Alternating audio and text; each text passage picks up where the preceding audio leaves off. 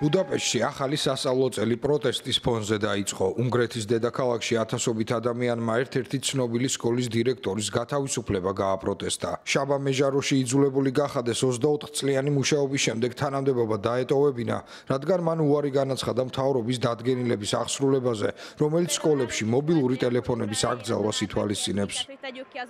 ადრე მაგალითად გაკვეთილის დაწყებამდე მასწავლებელი გთხოვდა ხოლმე რომ ჩვენი მობილური ტელეფონები ან ჩვენი მერხის კუთხეში დაგვედო ან მასწავლებლის მაგიდაზე. ნიდერლანდებში სკოლის მოსწავლეებს უკვე ეკძალებათ საკლასო ოთახებში მობილური ტელეფონების შეტანა. ახალი აკრძალვა სკოლებში მიმდინარე წლის დასაწყისში ამოქმედდა. სხვა ქვეყნებში, მაგალითად საფრანგეთსა და დანიაში, სკოლებში ასევე ატარებენ ექსპერიმენტს ტელეფონების აკრძალვაზე. ჩემთვის მთავარია დავუკავშირდე, როცა გზაშია რომ გავიგო ზუსტად სად არის და რას აკეთებს.